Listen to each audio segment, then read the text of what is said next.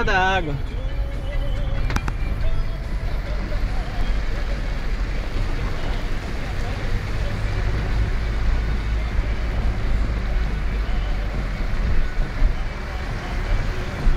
Ó o açude aí na frente, vamos ter que enfrentar agora.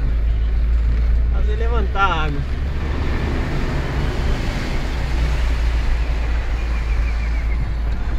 Dá uma olhada.